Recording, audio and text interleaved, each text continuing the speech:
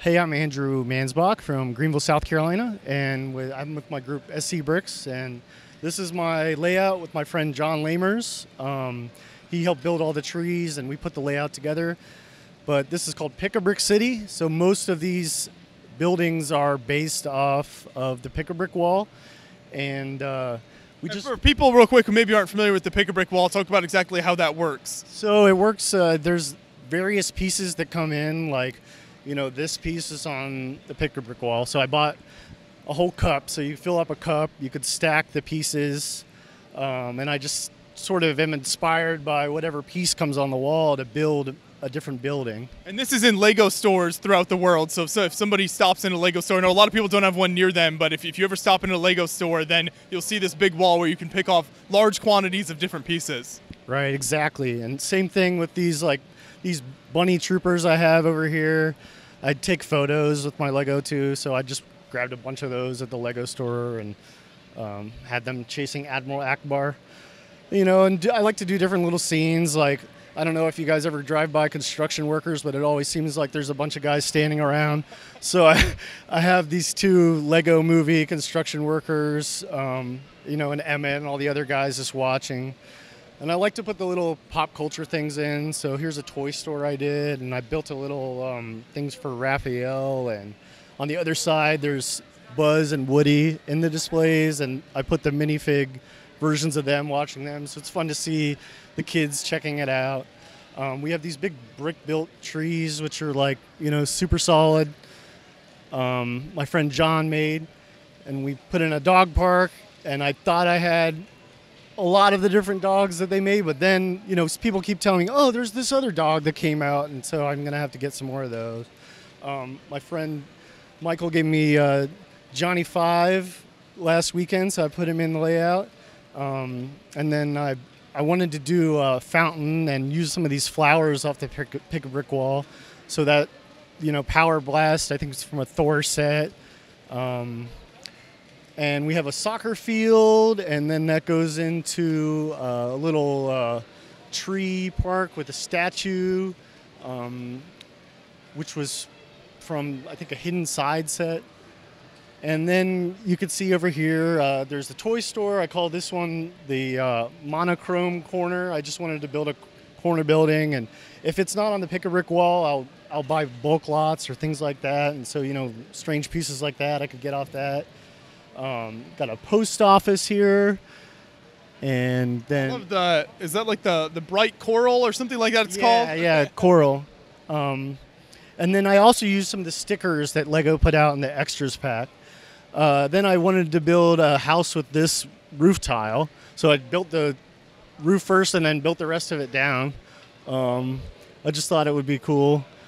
Then uh, there was like a three in one that had that burger on it, so that inspired me to build this, like a deli and um, you know a couple Mandalorians.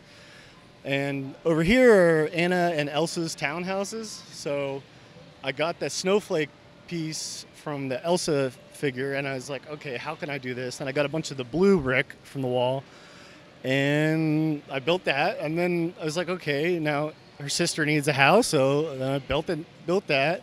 Don't, I don't know if people can notice, but there's actually a treasure chest as the um, awning. So I like to try to use pieces creatively if I can. Yeah, that's fantastic. And I love how you even themed it with the two characters and everything. Yeah, I put her lantern out there. Um, thought that was cool. And then the um, the one next to it is uh, I, I just called it like a teal townhouse. So it's a, it's a half base plate. But I built the stairs first on that because I wanted to use those arch pieces that I think they were in some creator VW or something. So I built that first and then moved up from there. Um, that next one, my friend John built, so he's loaned to me, and it looks like they're shutting us down. Uh, but the next one is a uh, telescope build, I guess. That was actually the first one I built off the pick a brick wall. I just got a bunch of those. I'd seen people do like bamboo and things like that, and so I just sort of started building. And there's there it is. I think it looks like a museum or something. Yeah, with all the windows, the kind of the big windows and everything. Yeah, so maybe eventually I'll be able to get around to doing the interiors. Um, then there's a pink house, so the the new minifig with the flamingo in it. that one inspired me, and then having pink on the wall. So I was like, all right, let me let me build a house for her. Some people said it looks like Dolores Umbridge's house, or you know Barbie's house, or something. And then uh, next to it is just an office building. Um, so I, I got some of the masonry brick from my friend um, and just started building up. And I- I've got um, my wife actually set that up. It's uh, just an animal party on the top. Uh, you know, you get these animal suit figs. It's like, what do you do with them? I just thought it would be funny to throw together a scene with that. Costume party on top. Yeah, exactly. And you even got some lights inside there. Yeah, a couple lights in there, and there's actually the um, rocket ship little gift with purchase thing in there. Um, and then next to it is uh, purple building. So that's that building is entirely built out of one by two bricks. So it's very fragile because apparently one by four purple bricks are rare. Uh, but um, I think that looks like an arcade.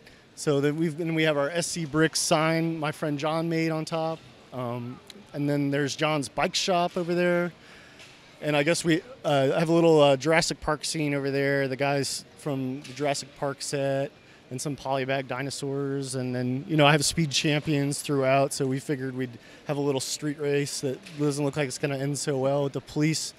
Um, and then here's my police building, same kind of thing where like I just had some pieces and you know i wanted to do the police sign in brick built letters sort of like had the post office. It was in the um, i think the pet shop modular had that technique. And so that one has a whole interior on it you know throw the bat signal on there. The kids love that. Um, and then the next one is i think like a hotel. So it has the pab on the top because it's the pick a brick city and sonic's running on there. And i got mr burns out front. Um, It's such a great color scheme on that building with that gold with the kind of dark green color. Yeah, thanks. Same same thing there is like all those gold pieces were on the wall and uh, somebody in my group actually mailed me those tiles to start it because they were on some other wall. Because we're all obsessed with pick a brick and, and we'll let each other know whenever we get something in.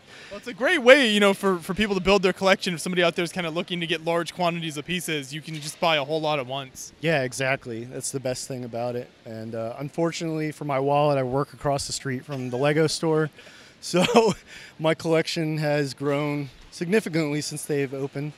But yeah, there's just little little scenes in there. You know, this is that Target set. I, I try to incorporate, you know, little details, and people have been enjoying it. So Is any of this based on any real life buildings or pretty much just all starting from scratch in your imagination? It's all just made up buildings besides these two Simpsons ones over here, actually. So there's the comic book store from The Simpsons, um, the Android's Dungeon. So I studied a lot of the episodes to try to make it like the messy interior and have some of the printed tiles and other random stuff from other sets that might look good in there. And I printed out the sticker. And um, I'll actually show you the, the next door one. I haven't tiled it yet, but there's a I guess a hairdresser. It's called Jake's Unisex Hair Palace. And then next to that is the Krusty Burger. So that's also based off of The Simpsons, and it's I looked at a lot of pictures and even printed out a couple of screenshots from it um, for it. But it's got a full interior with the kitchen and you know all the Simpsons figures. And then I built the uh, snake car that Homer buys in one episode, and then I built Marge's car, and so the Simpsons house is what got me back into Lego as an adult. So that's what I first started building, and then It expands out to here. expands out to you know a whole city. But this is fantastic work. Now I know you mentioned you're from South Carolina, and maybe there's some some local fans in the South Carolina area who are watching this video. If they want to get more involved and start going to shows or more involved with other fans in their area, where can they check that out? It's uh, scbricks.com, or you can email us at southcarolinabricks at gmail.com. We're based in the upstate of South Carolina, but we have people throughout the state. So yeah, check us out. Yeah. Good stuff. We'll keep up the good work. Thank you so much. Oh, thank you very much.